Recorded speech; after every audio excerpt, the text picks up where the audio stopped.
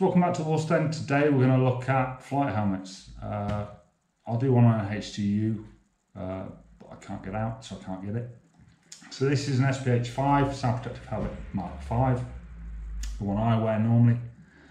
Uh, the Kevlar outer base. Uh, we've got the thermal line. Uh, it's not a thermal lining. You can adjust it in an oven to fit your head. Uh, it's pretty much standard uh, I don't have CEP kit or any of those kind of things. Uh, I do have these cotton covers over the earpieces just to stop sweat formulating. This is the old style with the press studs.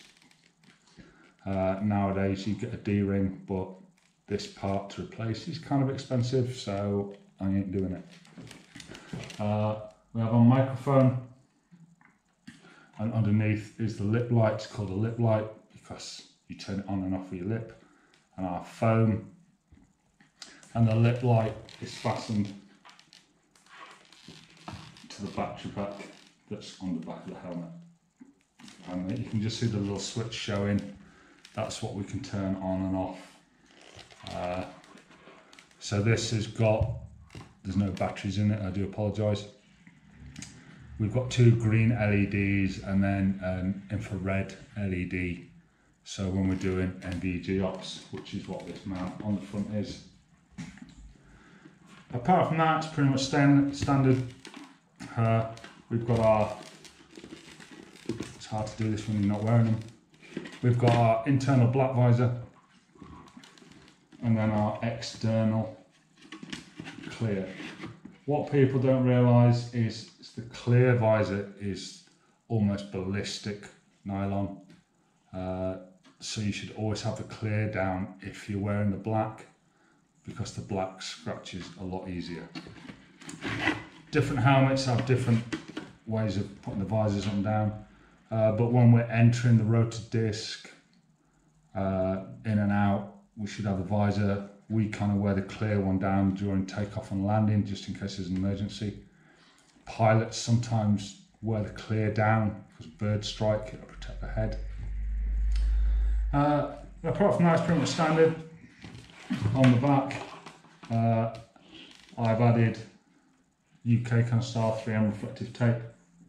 So if I'm bobbing in the water with a life jacket, you can see my head. If I'm unconscious, you can still see my head.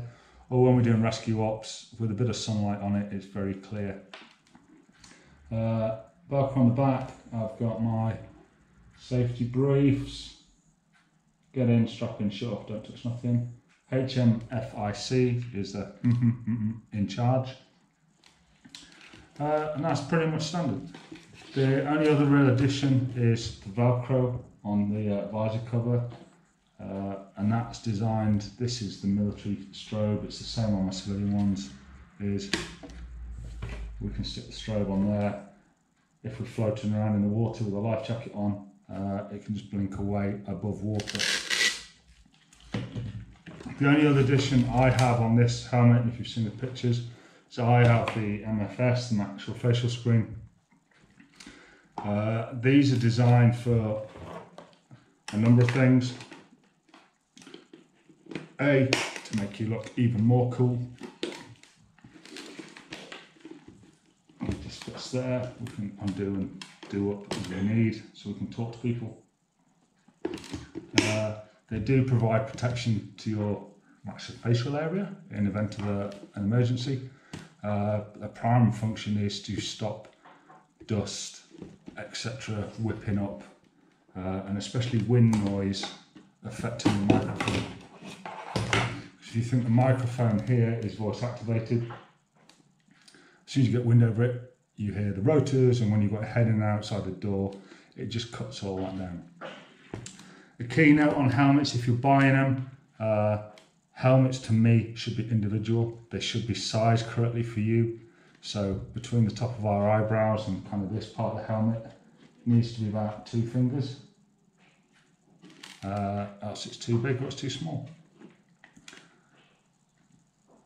You can get foam spacers that fit behind ear cups that adjust, uh, they're Velcro backed, that they adjust the position of the ear cups of your ear Helmets are an individual thing because at the end of the day, it's your head and I don't really like or approve of companies using pool helmets, but that's just a personal thing.